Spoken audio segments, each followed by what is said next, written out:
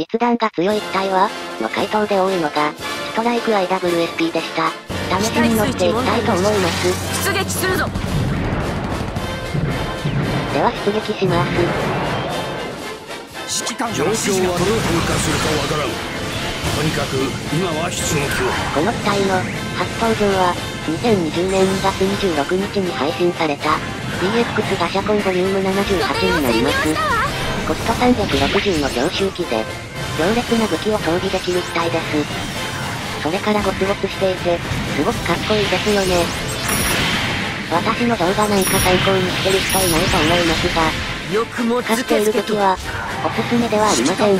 この機体のように、前に出た方が強い機体は、突然格闘に巻き込まれて、やられることが多いので、ある程度距離を取って延命するために、自軍専用本拠点飛び A ライが攻撃フルを使っています。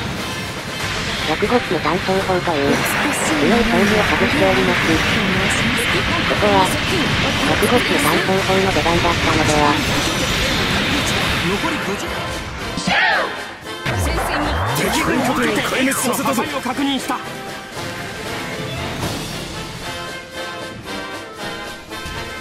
するのだ。まだ来るんですか？拠点を占領した奴らにまだこんな兵力を。シオンの奴らにまだこんな兵力を敵補給機を撃破した。艦を落となんか、しておいた。ドキと書きそうだったので、うろうろ、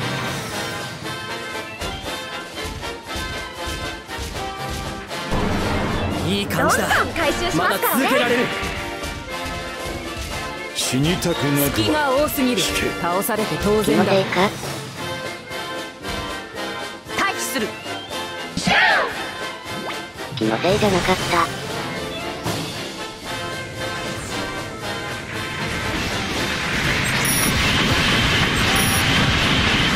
身動きを封じられたか。貴様らの思い通りにはさせん。死守する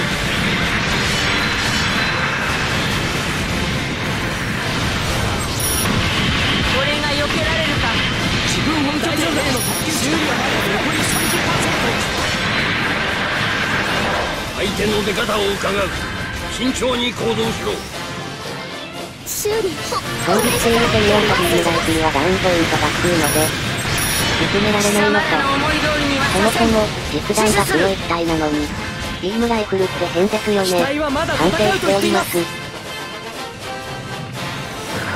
ミノフスキー粒子量が減衰してくれたかレーダーが回復したようだあとは頼みました一時退避します指揮官から指示が届いたかこの状態ですと、敵の弱点は、ほぼないと思いますので、ある意味、相当戦です。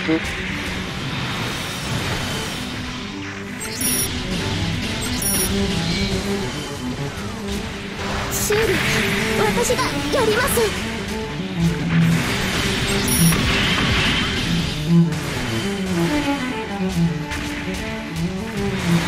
官から指示が届いたか。修理私がやります。自軍戦力ゲージが残り50%を切った。少し調子に乗らせてもらうよ。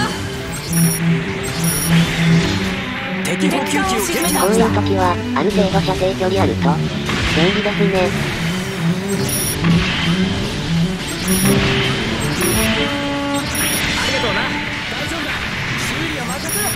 敵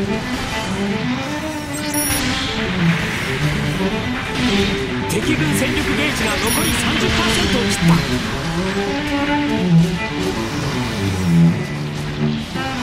死にたくなくは引け。見どころなしの動画になりましたが、ご視聴ありがとうございました。